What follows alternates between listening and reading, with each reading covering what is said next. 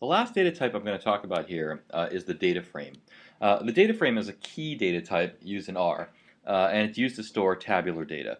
So of course, tabular data make up a lot of what we use in statistics. Of course, not all types of data are tabular, uh, but because so much data becomes in tabular form, data frames are very important in R. Um, so data frames are basically represented as a special type of list, where every element of that list has the same length right? So you can think of each column of the data frame as an element of the list. And of course, in order to be a table, every column has to have the same length. However, each column doesn't have to be the same type. So the first column could be numbers, the second column could be a factor, the third column could be integers, uh, the fourth column could be logicals. It doesn't matter what the different types are. Um, so unlike matrices, um, where, which have to store the same type of object in every single element of the matrix. Data frames can store uh, objects of different classes. Um, and so data frames also have some special attributes. First, the first special attribute is called a row name. So every row of a data frame has a name.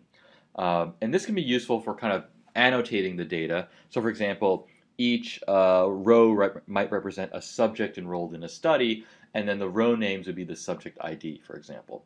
Um, However, sometimes the row names are not interesting, and, and, and often you'll just use row names of 1, 2, 3, etc.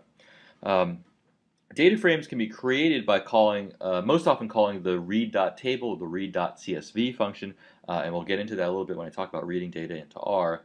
Um, and you can also create um, a matrix from a data frame by calling the data.matrix function.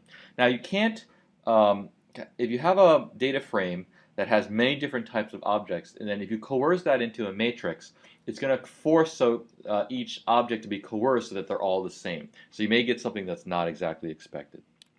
So data frames can be created uh, besides using read.table or read.csv, you can use the data.frame function. Um, and here I've created a very simple data frame where the first the first column is called is the foo variable and the second column is the bar variable.